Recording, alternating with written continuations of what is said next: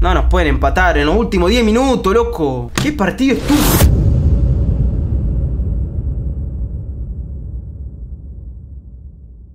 ¿Cómo empatamos contra Chile al pedo? Si entraba uno de los tiros libres ahí de Messi, para mí merecidamente lo ganamos. Pero bueno, encima yo, yo soy más mufa, boludo. Íbamos ganando 1 a 0.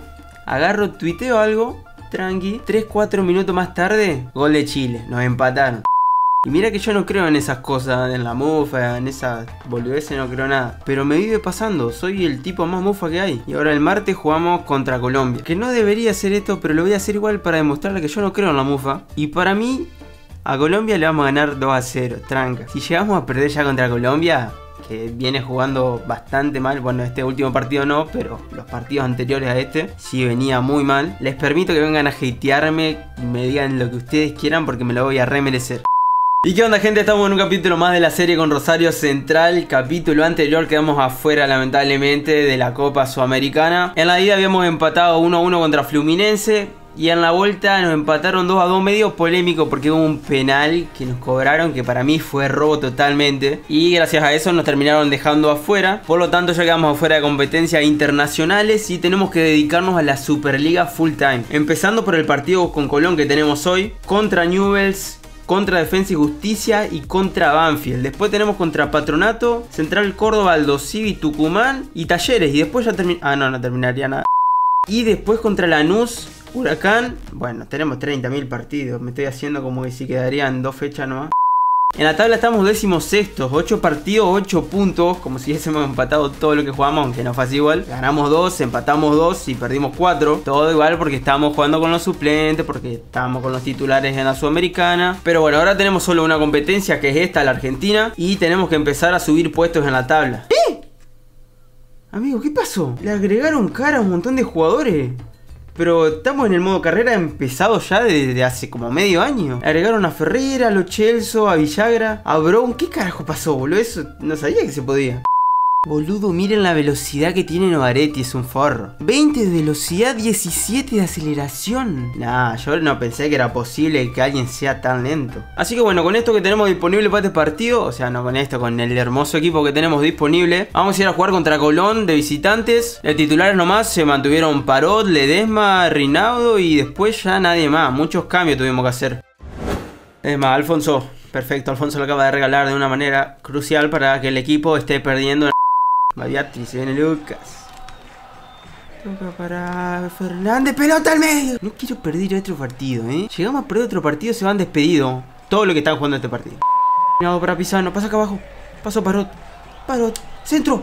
Pasado para Gamba. ¡Oh! Ya apareció Lucas, Gamba de cabeza. Una potencia le metió ese cabezazo que le dobló los dedos al arquero de Colón Burián. Desbordaba muy bien Parot, ahí le marcaba el pase a López Pisano. Centro con lo justo, gana Gamba. Y vemos cómo le fractura cada meñique que tiene en el sector. Gamba, Lucas, pelota filtrada. Va, no, Bonancea se abrió mucho. Ayúdeme, toca al medio. Lo tiene Pereira. ¡Oh! Apareció Joaquín Pereira, el mediocampista, con pocos minutos, pero aprovechándolo cuando está presente. Damos vuelta al partido acá en Santa Fe. Vemos la definición al primer palo. No pateamos muy fuerte tampoco, pero Burian está medio cagado y se le nota. Abrimos, repartimos el juego. Centro para cualquiera. No, para Bonancea, palo. El rebote. No, dale Brasil, Bonancea, por favor, no. Tax, Gamba, hace lo tuyo. El giro de la muerte. El giro de la muerte de Gamba. Y Gamba, travesaño. Bonancea chilena. La chilena de Bonancea que pone el 3 a 1. Después de una jugada tremenda con el giro de la muerte que había hecho Lucas Gamba. El ex Unión que lo quería clavar de nuevo a lo de Colón. Vemos ahí, tax, bombazo, travesaño.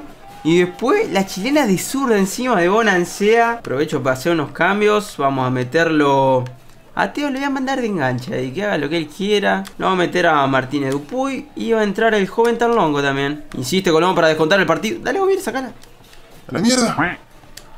No, Teo, la p que te. ¿Offside? Vuelvan, ey. ¡Vuelve! ¡Offside! ¡Hijo de p! ¡Cobra el offside! ¡Cobra el offside! No nos pueden empatar en los últimos 10 minutos, loco. ¡Qué partido estúpido! Y bueno, tenemos la rueda de prensa previa al clásico rosarino, clásico contra Newells. Y nos preguntan cómo afrontar el próximo partido. Estamos preparados. Corta. El equipo ha tenido problemas en los últimos partidos. ¿Has conseguido encontrar la causa? Sinceramente no... No sé cómo explicarlo, porque el partido anterior, por ejemplo, 3 a 1 íbamos hasta los 80 y nos terminan empatando después de una manera que no, no tengo comprensión para comprenderlo. ¿Cómo motivas a tus jugadores para que den al 100%? Es importante, ¿qué respuesta era esa? Nada que ver a lo que le preguntaban. Mis jugadores no se confían, todos los partidos son igual de importantes. Y sí, todos los partidos son igual de importantes. En realidad no. Pero le contestamos eso porque son una cagada las cantidades de respuestas que nos dan acá.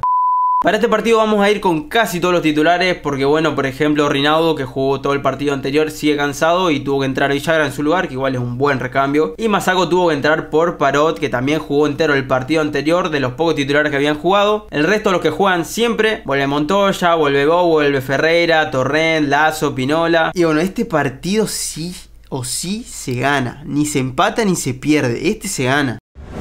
Tenemos hoy el clásico de Rosario, Rosario Central que juega de local en un día hermoso. Además, los de Newell que igual van con la camiseta suplente, no entiendo por qué, porque la titular no se confunde con la de nosotros. No aparecemos ni entre los primeros dos en la tabla. Estamos décimo sexto, bueno, Newell está peor que nosotros encima, así que los dos de Rosario llegamos en un momento horrible. Somos de los peores equipos defensivos, la peor. Ferreira para Cabrera, pásame. Pasó muy bien Montoya. Montoya se anima de ahí, le pegó el arco. ¡Oh! Y la primera la tuvo central a los 5 minutos. Ya tenemos un corner ejecutado por Assad. Centro para los... ¿Cómo cabeció tan mal? El centro de Maxi Rodríguez. Cerrado el primer palo. ¡Oh! Lo más peligroso hasta ahora han sido los tiros de esquina. Pelota cerrada de Yamil Assad buscando el lazo de nuevo de arriba. Y ahora el arquero es el que aparece.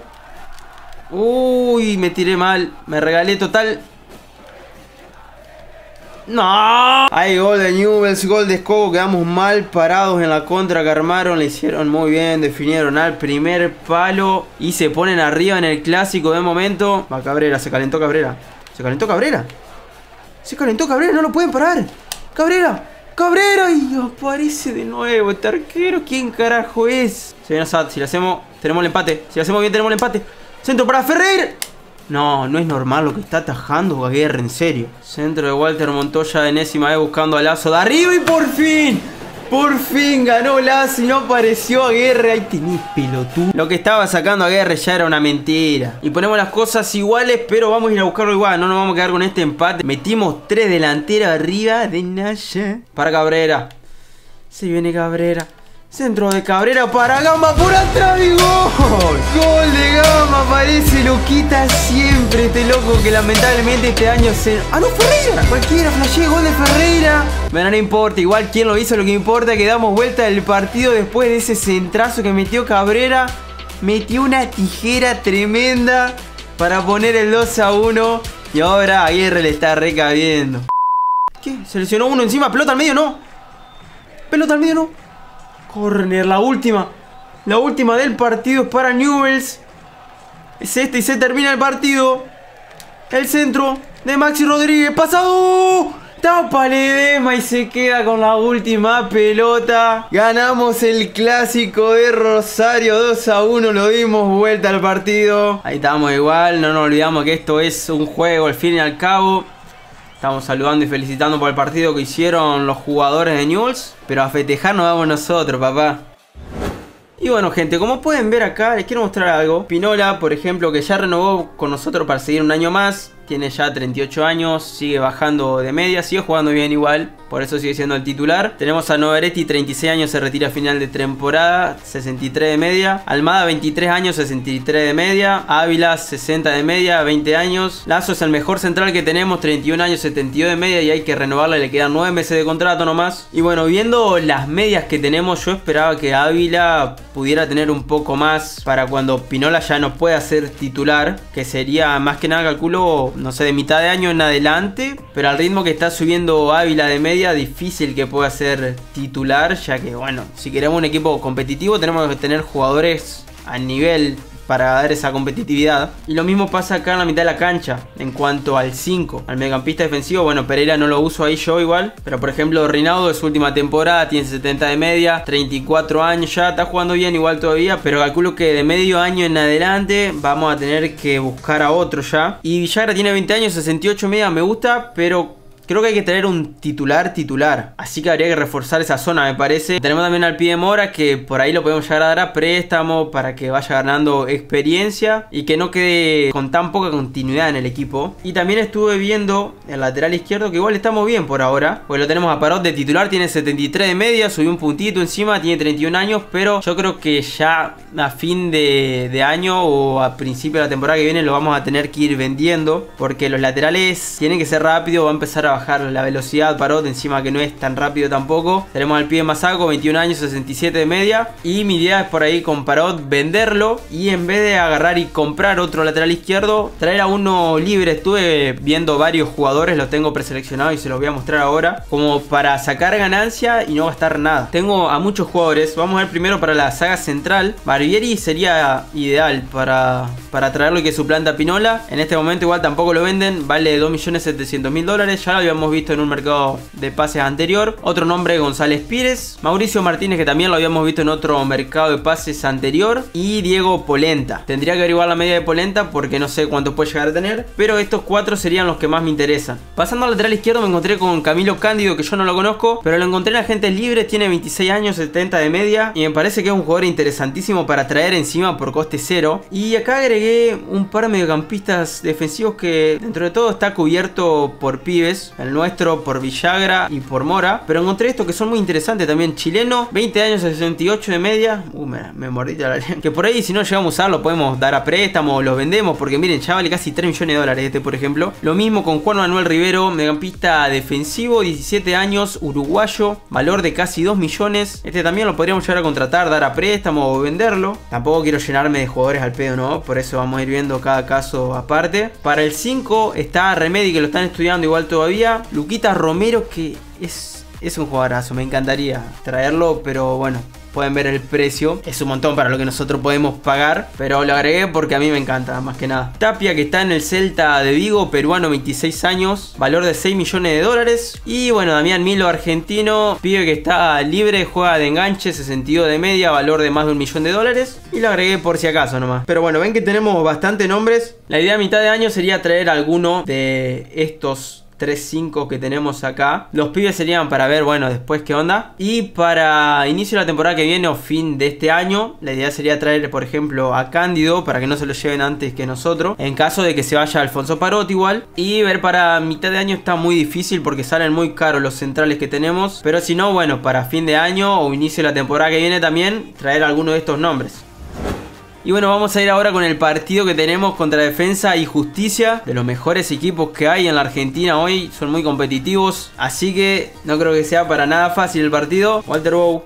Picó Ferreira. Si me acompaña uno. La terminamos. La terminamos con gol. No, gol no. Lo voy a pasar a Montoya. Este le pega lindo. Este le pega lindo, bombo. Ya dos veces casi que grito gol. Y ahora sale central con Assad Yamel para Walter Bow. Lo vimos a Ferreira. ¡Tírasela antes! No está en offside, ¿no? No está en offside. Y ahora sí, gol. La tercera ya vencida. Tremendo pase le metió Boba Ferrer y ponemos el 1 a 0. Lo tenemos merecido. Dos veces me dejaron por gritar el gol ahí. La terminamos errando. Y esa pelota encima tardó una eternidad en soltar la Bow. Pensé que ya estaba adelantado Ferreira cuando se la dio. Pero no. Y de esa manera, como vemos, Ferreira que pone el 1 a 0 para que nos pongamos en ventaja. No, ¿cómo vamos a quedar tan abiertos ahí? No podemos quedar así. No podemos quedar así abiertos, muchachos. La concha de su madre. Mirá, mirá el espacio que dejamos. Me están cargando. Centro para vos.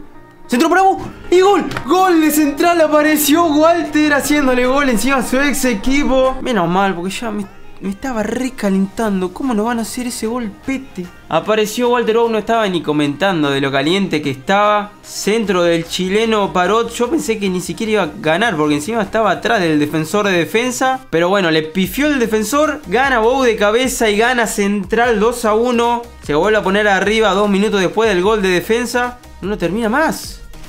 Terminalo, ey. Miren los minutos. No lo termina, mirá. Va casi 5 minutos, ¿qué carajo? Mi defensa que me quiere cagar en la última. Pero Pinola que aparece, el justiciero, y ahí tienen, árbitro, la concha. Y bueno, otra victoria más en este capítulo después de la Newell. Parece que todo va mejorando para Rosario Central. A ver cómo estamos en la tabla ahora. Antes de agarrar y verla, lo que vamos a hacer igual es simular este partido que tenemos contra Banfield. Para ir ya cerrando el capítulo de hoy, lo vamos a simular rápidamente nomás. Y le ganamos 3 a 0. Gol de Yamil Assad, gol de Rinaudo y gol de Teo que entró por Walter Bow a los 70 minutos. Estamos de décimo hora, ya me va tranquilizando más esa posición. Con 18 puntos. En este capítulo nomás ya sacamos más puntos que todo lo que veníamos jugando. De 12 puntos sacamos 10 y nos falta todavía para llegar a los puestos de arriba. Pero bueno, lo vemos ya desde otro lado. Capítulo que viene vamos a tener unos partidos más chill. Partido contra Patronato, contra Central Córdoba, Aldo Civi de Gago ahí, Club Atlético Tucumán que puede llegar a ser el más difícil. Y bueno gente, como siempre les digo, si les gustó el capítulo de hoy pueden dejar su like, apoyarme suscribiéndose, comentando. Seguramente el martes grabe video reacción del partido Argentina contra Colombia. Así que van a estar viendo martes a la noche, a la madrugada, por ahí si hay alguno atento. Lo va a ver ahí subido al canal. Cuídense todos y le mando un abrazo grande.